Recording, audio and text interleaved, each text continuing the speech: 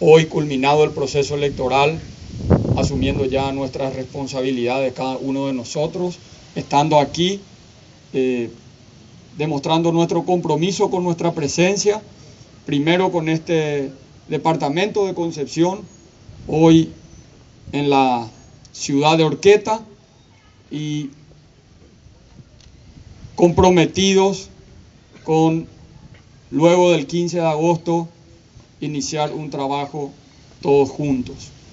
Lo hemos dicho en el proceso electoral, nuestro pueblo espera mucho de nosotros, espera generación de consensos, espera, espera que atendamos sus necesidades, que quienes recibimos a través del voto la confianza de la gente del pueblo paraguayo, podamos entender el enorme compromiso del mandato que recibimos, que es para generar transformación y mejorar, mejorar la calidad de vida de nuestra gente. Hoy hay muchas autoridades aquí presentes.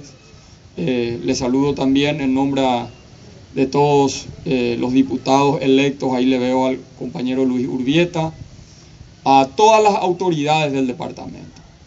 Ponerme a disposición en este proceso con el gobernador actual, con los intendentes del departamento, todos, de todos los colores. Se acabó el proceso electoral y hoy nos tiene que unir aquí la presencia aquí en Orqueta. Orqueta hoy es de todos los orqueteños y van a recibir el apoyo de las futuras autoridades nacionales. Como así también mi compromiso con todos a poder trabajar juntos, a empezar a construir puentes entre paraguayos. Yo hoy vengo a renovar mi compromiso con todos los paraguayos. Gobernador actual, gobernador electo. A través de ustedes, mis saludos a todas las autoridades y decididos a trabajar juntos para construir puentes, derrumbar las murallas que nos han dividido por tanto tiempo y generar una gran transformación en este hermoso departamento de Concepción.